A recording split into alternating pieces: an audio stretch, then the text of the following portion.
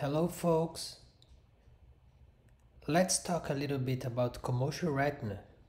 Unfortunately, it's still a very common condition in an emer emergency or ophthalmology clinics. Blunt trauma to the eye causes outward displacement of the posterior ocular structures.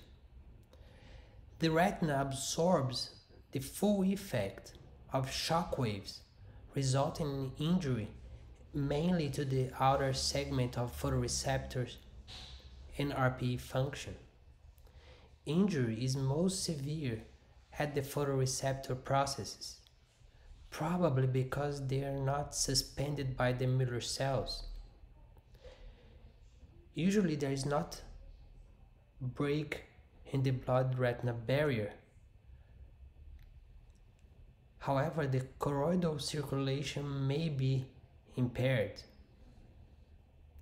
The characteristic appearance white in the retina is likely related to the increased scattering of light by the abnormal photoreceptor process and subretinal debris.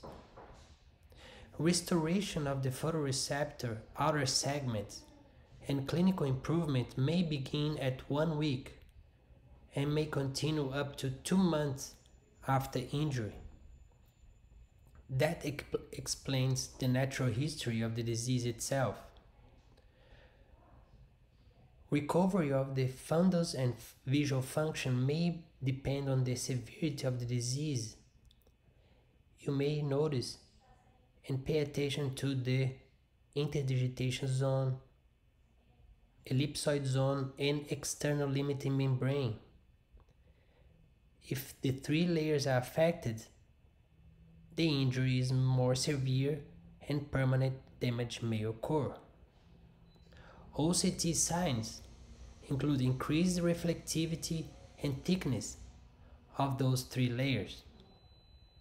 You may observe here a superior commotio retinae in this patient and the vertical CT show damage to the interdigitation zone and ellipsoid zone superior to the fovea.